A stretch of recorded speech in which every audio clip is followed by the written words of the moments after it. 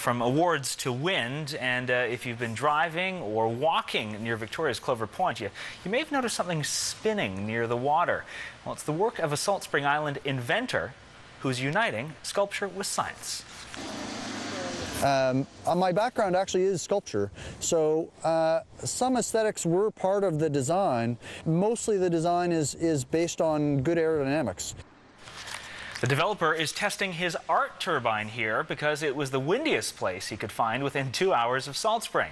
This is his 16th version of the invention, and the goal is to make it produce enough energy to power an average home. To be successful, you have to have more than just an idea. You have to have the ability to bring it into the real world.